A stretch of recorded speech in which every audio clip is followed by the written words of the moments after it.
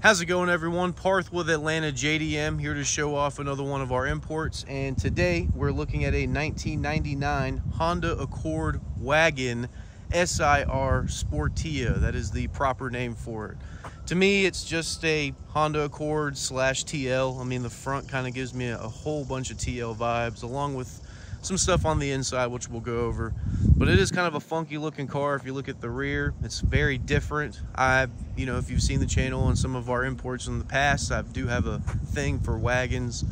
And this one's been pretty solid. I've been driving this in the smx taking turns for the past couple of days. This one did just arrive. It is a stock car so it's not a custom order. It is available until it's either reserved or not on the website and we're just gonna show it off. I've had a lot of interest in this car. So this is a July 1999 car. I did buy this car in February, I believe, and we had to store it um, until it was legal to import. We exported it at the end of last month and it just arrived with the uh, Celica. I'm gonna be doing a video on that next. We did buy this from the original, well not original owner, but from in owner. So that means it was being driven. It wasn't just sitting in some barn waiting for it to hit the 25 year marker. We generally like getting cars like that. That means it's been serviced, kind of looked after, and there's just, you know, not a lot of headaches when we're doing our routine services. Routine services on this car, big thing I want to mark on eh, or talk about, or just really the four new Yokohama tires we did. Everything else is kind of just routine stuff, fluids we did the front pads and rotors on this one. They were kind of going out. We didn't do the rear because they were a little over half-life, so wasn't necessary. So just gonna do a quick little lap. Like I said, we did buy this from an actual person, or not actual person in Japan, but someone driving the car. So it does have a couple of little, little things here and there.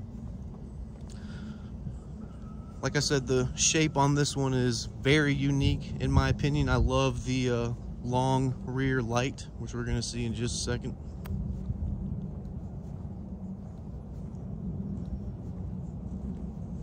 And I don't know, I just have a thing for wagons and this one, when I saw it at auction, I was like, yep, yeah, it's, it's a Honda too, so it can't be bad.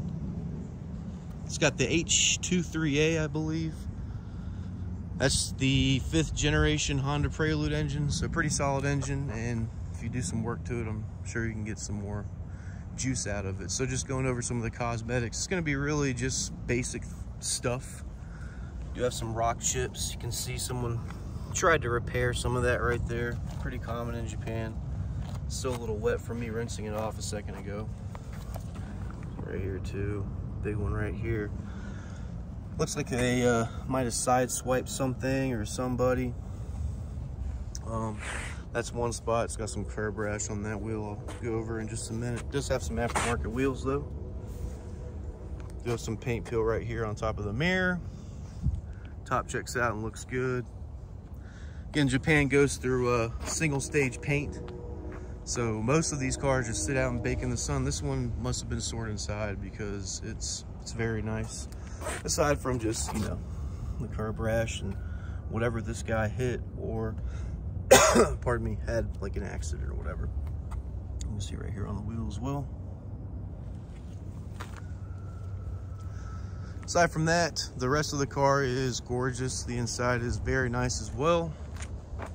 Like I said, I can't just get over that. It just looks so funky. Rest of the wheels look good though. It's just that side, those two spots. Mechanically though, it is sound, no rust. We don't buy cars with rust, and if they do have rust, it's either very minimal surface rust and it is disclosed to any potential buyers.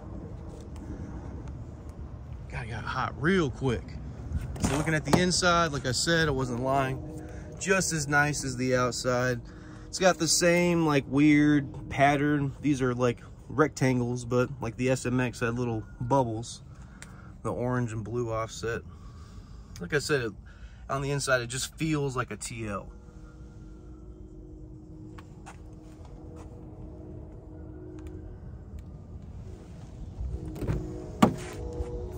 Back seat just as nice.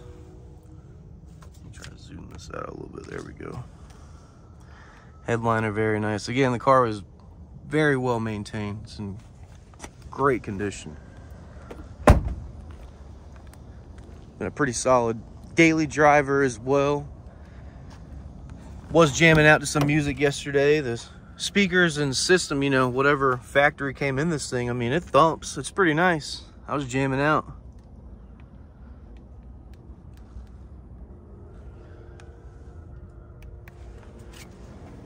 Um, it does have an aftermarket Navi, but again, like all the radios and navigations, they're just suited for Japan. You're gonna have to change those in pretty much every JDM you get over here. Most of them. Then just some more pans of the back seat. We'll look at the trunk. Forgot about that. Very, very nice back here. Spacious, lots of room. Got your uh, shade good condition. Um, I think this thing moves. No, it doesn't. Wait, does it? Oh, just, you can remove it. Um, oh wow, I think this is a CD player over here. Interesting.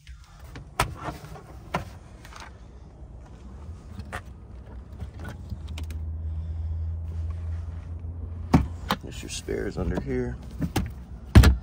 Everything's like pretty nice and the little panels and all that stuff. Like, digging it. I like it.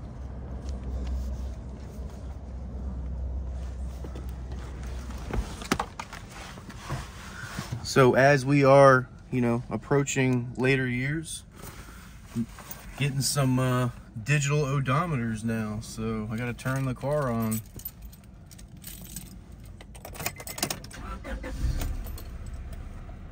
So we are sitting at 120. Hold on, I thought I was gonna talk. You'll say it in a minute. This one's so delayed. Come on, now you're making me look stupid. Whatever. 121,772,000 kilometers. Kilometers that's around 75,000 miles, and that is your ETC reader. It just basically says, please insert your card so you can go through the tolls in Japan. Automatic transmission, ice cold AC. I did just fill it up, so it is uh, 134. So pretty easy to fill up at the gas station yourself. Do have your remote for your navigation and whatever system. A couple of man or manual and a service record.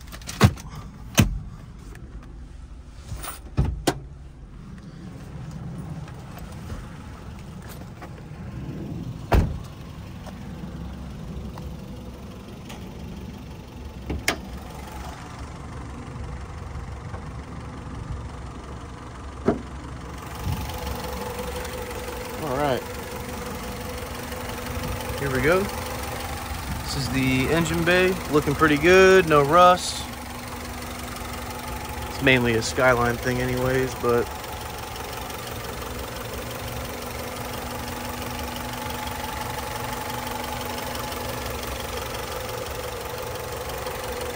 good old DOHC VTEC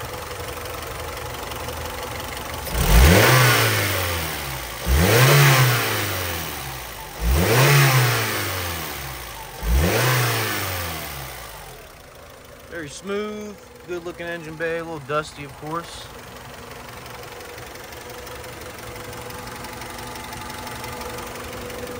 And like I said, you know, I think I listed off everything we did, but all these cars go through a routine service. I drive these cars when they land too to test them out, make sure it doesn't need anything before sale just to make sure you guys are happy satisfied. But this is going to be it for this one. I appreciate everyone stopping by and checking it out. It is available. If you are interested, feel free to reach out. If it does escape and uh, you are looking for another one, you can always place an order. We can go find another one for you. Um, yeah, so we'll see y'all on the next one. Thanks.